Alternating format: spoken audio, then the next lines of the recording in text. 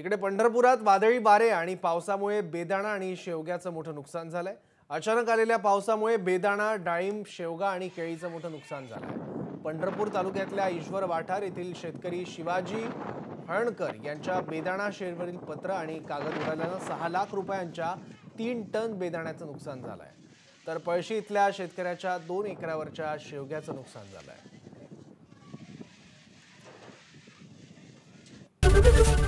ABP माझा उघडा डोळे बघा नीट